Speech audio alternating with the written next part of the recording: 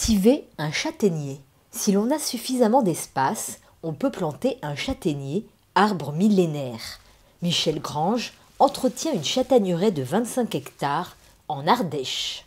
Le châtaignier pousse dans les sols acides, légers et profonds. Ce qu'il redoute, c'est le calcaire actif et les taux d'argile élevés. Le climat méditerranéen lui convient bien, mais on le trouve aussi dans d'autres régions françaises. Le châtaignier résiste aux froids hivernaux, jusqu'à moins 20 degrés, il résiste très bien. Ce qu'il redoute par contre, c'est les gels printaniers. On peut avoir des dégâts de gel sur tronc sur les jeunes plants les premières années, jusqu'à une dizaine d'années. Dans notre AOP Châtaigne d'Ardèche, nous avons 65 euh, variétés qui ont été sélectionnées par des générations de producteurs et la plus récente a plus de 150 ans. Chaque vallée a ses propres variétés parce qu'on a des variations climatiques, des zones de différentes altitudes, donc c'est bien d'avoir des variétés adaptées à sa région.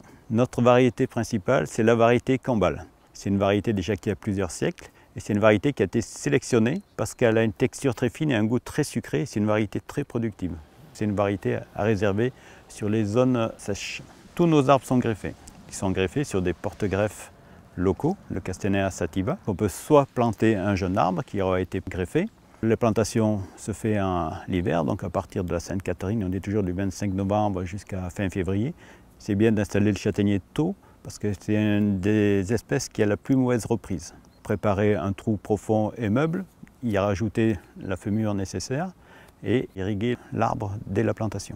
La production sur châtaignier est un peu difficile, il faut attendre 8-10 ans pour avoir les premiers fruits. Bien sûr, pour la production, le châtaignier, on dit toujours qu'il faut qu'il soit dans un four l'été. Il supporte des chaleurs estivales très fortes. Mais par contre, pour le grossissement du fruit, au mois de septembre, il faut qu'il soit dans un puits, c'est-à-dire qu'il faut qu'il ait des pluies régulières pour alimenter l'arbre et pour faire grossir ses fruits. Le châtaignier a un très bon système racinaire. Au bout d'une dizaine d'années, le châtaignier est bien installé, donc il peut aller chercher l'eau suffisamment profond dans le sol pour euh, s'alimenter. On peut multiplier le châtaignier aussi par surgreffage, c'est-à-dire quand on a un châtaignier qui ne fait pas de beaux fruits mais qui a un bon système racinaire, on va l'abattre. L'année d'après, il va pousser plein de rejets autour. On va en sélectionner deux ou trois que l'on va greffer. le greffage consiste à couper le rejet à 1,20 m, d'aller chercher des greffons d'une variété qu'on souhaite multiplier et apporter les greffons et les positionner sur le rejet que l'on a préalablement coupé. Mais on n'en sélectionne que deux ou trois que l'on va greffer et progressivement on va en laisser plus qu'un. Il lui faut un espace au moins de 100-120 mètres carrés suivant la profondeur du sol. Il est nécessaire de planter plusieurs châtaigniers de variétés différentes pour assurer une bonne pollinisation et la production de fruits. Le châtaignier aime les sols meubles et riches en humus. Il est nécessaire de lui apporter du fumier composté, fumure organique pour améliorer la texture du sol et pour apporter la nourriture nécessaire à l'alimentation de l'arbre. Tout au long de l'année, il faut éviter la concurrence donc, de la végétation au sol. Une taille est nécessaire les premières années pour former l'arbre, ça s'appelle une taille de formation. Mais après, régulièrement, donc, quand on a un châtaignier qui est très productif, il faut régulièrement enlever les branches qui plongent et garder les branches les plus érigées. Ce sont celles qui portent les plus beaux fruits.